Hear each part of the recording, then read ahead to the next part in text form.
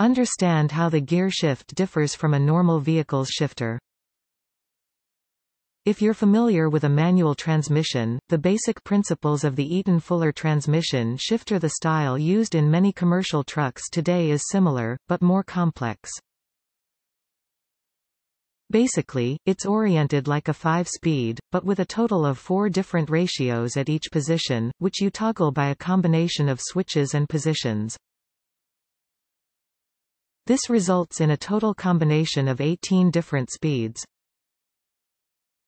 The shift knob has two switches controlling air-actuated gears.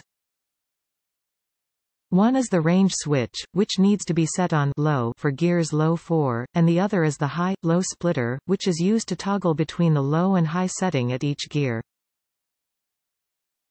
Your index finger operates the range switch, which allows you to flip between high and low at each gear position with your thumb.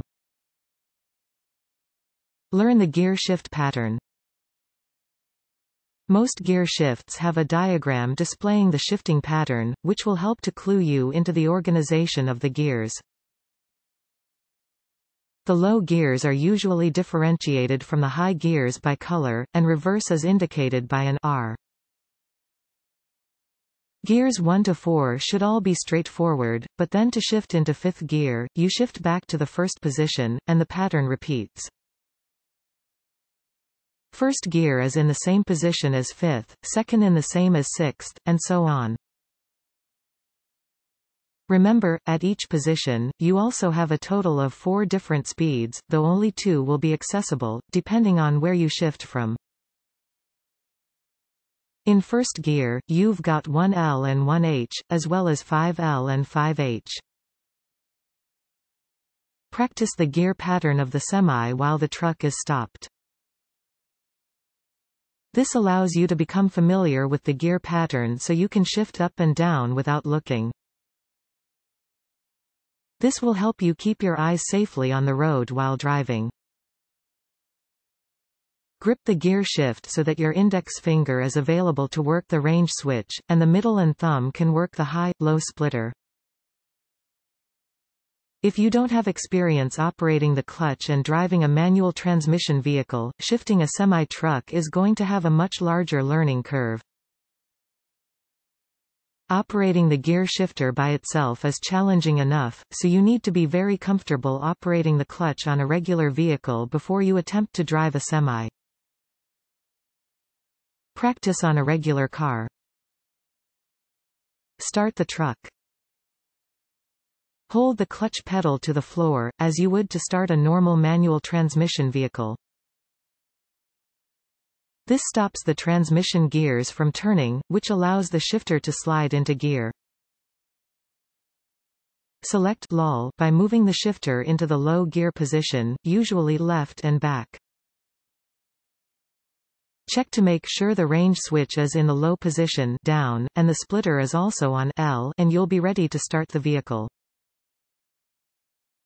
Push down the accelerator and slowly release the clutch.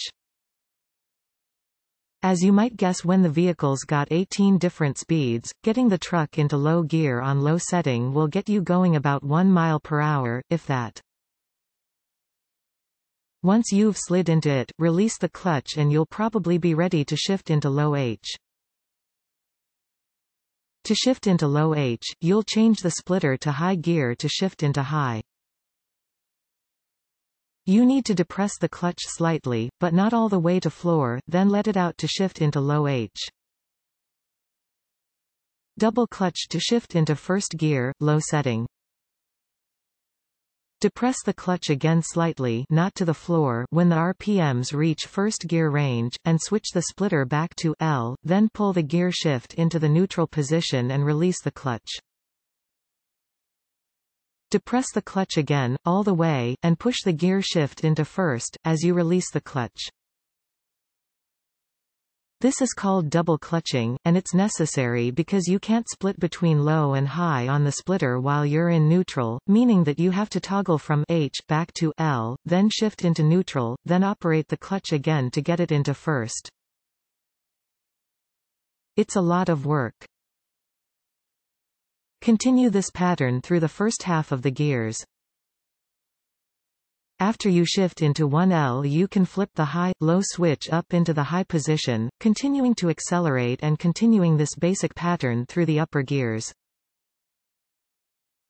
Repeat the previous steps through 1H, 2L, 2H, 3L, 3H, 4L, and 4H. To make the half steps, continue pushing the splitter button, releasing the accelerator, pushing in, and releasing the clutch. Switch over to fifth gear when you're ready. With the splitter switch in L, flip up the range selector to 5H, which will allow you to avoid grinding gears when you switch back into the first position. This is absolutely essential. Switch the range, then double clutch shift back to where one was before, and it will be fifth gear. Continue shifting through the higher gears. The basic principles now repeats itself. Continue shifting and toggling between L and H, shifting up through 5H, 6L, 6H, 7L, 7H, 8L, and, finally, 8H. Use the color indicators on the tachometer. Most RPM gauges should be color-coded, with 1500 RPMs at about the top 12 o'clock of the gauge, which is typically colored green. This is the ideal place to shift between gears. 1700 to 2100 is typically beyond the point where you should be shifting, with the exception of going downhill. This region is typically colored yellow, with anything above colored red. If you're less than 1,200 revolutions per minute and try to shift, the engine is likely to splutter and possibly stall. Get used to the general shifting conditions. After a while, you'll be able to familiarize yourself with the general positions that you need to shift, but in instruction school, you learn a few basic rules of thumb. Be in top gear at 50 miles per hour, 80.5 kilometers per hour or greater. Generally speaking, if you're traveling at highway speeds or greater, you should be at top gear always. Be in fifth or sixth gear for sharp turns in city conditions.